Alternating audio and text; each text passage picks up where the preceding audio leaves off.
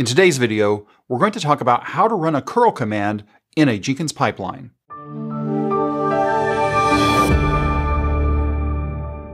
You've been tasked with integrating one of your Jenkins pipelines with a REST API. And you think to yourself, there has to be a plugin for that. And you wouldn't be wrong. But as we go into today's video, we're going to see that just using curl will take care of the job for you. Here's today's starting point we have a Jenkins controller version 2.289.1. When it was installed, we used install suggested plugins, so no extra plugins installed. We also have an agent with the label of Linux. Both the controller and the agent are running CentOS 7.9. And by default, with CentOS 7.9, curl is installed. So first off, let's go ahead and create a job just to verify that curl is accessible through our pipeline. So we'll click on New Item, I'm going to call this test curl, and I'll type pipeline and click OK. Let's scroll down to the pipeline section, and we'll paste in this pipeline script. So we can see here we're saying agent any. The step is just curl dash dash version. Let's see what happens here. Click on save and build now.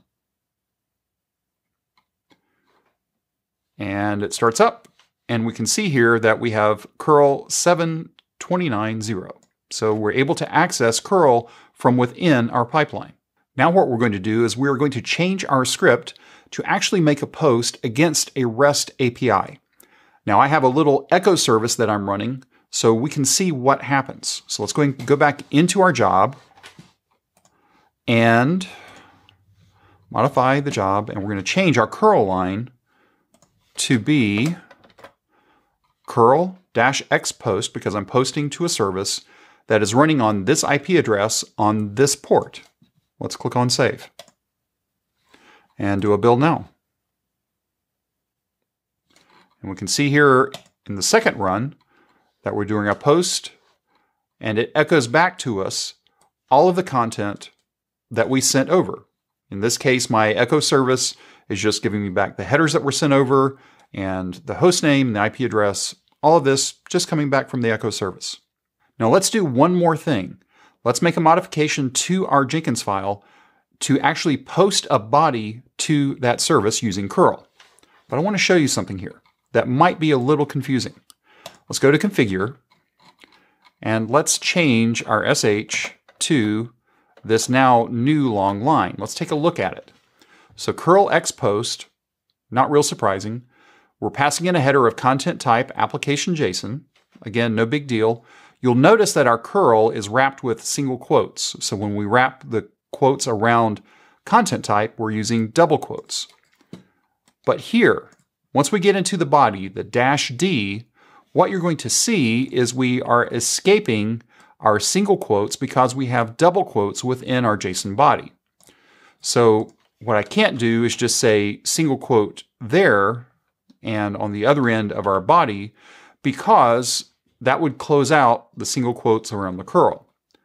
So in my case, I can use just a single backslash to escape that single quote. In your case, you might need to do multiple backslashes to make that work. You'll just have to test it out, see how it works for you. And then we go on to the rest of this line, and it's just what we saw before. We are posting to our service on port 8080. So let's go ahead and click on Save and click on Build Now.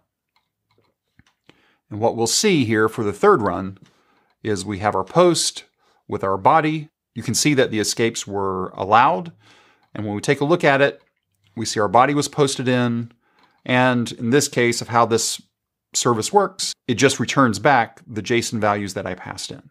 So you might be asking yourself, why would you want to use curl or any other type of command like HTTP IE, anything that you can run from the command line? Well, first, it eliminates the dependency on a plugin. If you don't need a plugin to do your work, then you're able to minimize the risk over time when you are upgrading your controllers. That's just one less plugin that you have to remember to upgrade. The second and biggest reason why you want to be able to use curl or HTTPie or any of the other command line tools is that you're able to work with those commands outside the context of Jenkins. and you're able to get your commands as close to correct as possible so you know that they work, and then you can bring them pretty much straight into a Jenkins pipeline, copy and paste it in, and see if it works. As we saw in my example, I had to escape my body with the backslash with the single quote, otherwise the job would fail.